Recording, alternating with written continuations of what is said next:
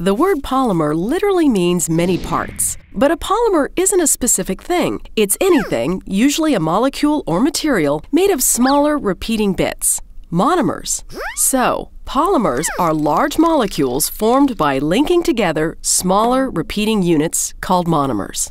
Many people think of plastics when they hear the word polymer, but polymers can be synthetic or natural.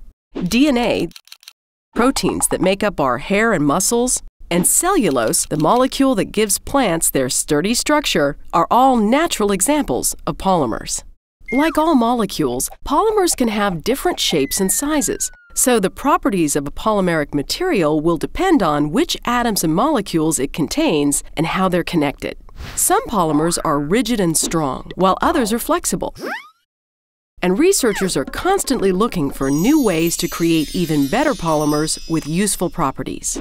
Some scientists study spiders for clues because their silk polymers are famously strong yet flexible. Others are working on ways to control polymer assembly. This will allow them to create new kinds of materials that are easier to recycle, can fix themselves after they're damaged, or even respond when exposed to light or electricity. From muscle fibers to plastics, polymers are useful materials that we rely on every day. Understanding how to build them from different types of monomers will allow researchers to design and build a more flexible future, bit by bit.